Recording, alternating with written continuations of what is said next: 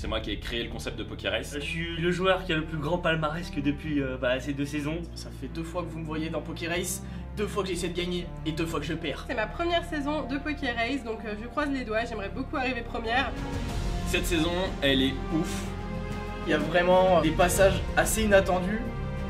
L'adversaire qui me fait le plus peur, je pense que c'est Nutiteuf. Et vous allez voir, ça va être très très très très lourd.